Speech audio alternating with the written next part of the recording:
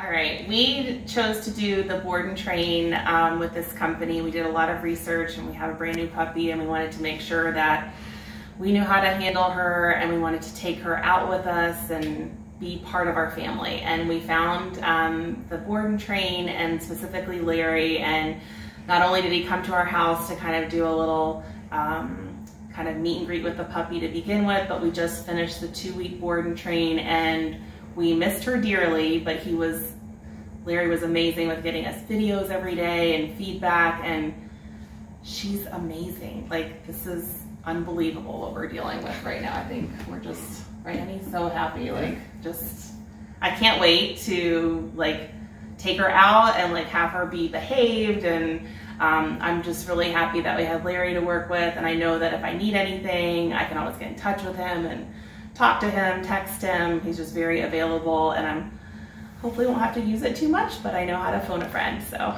thank you, Larry. Thank you.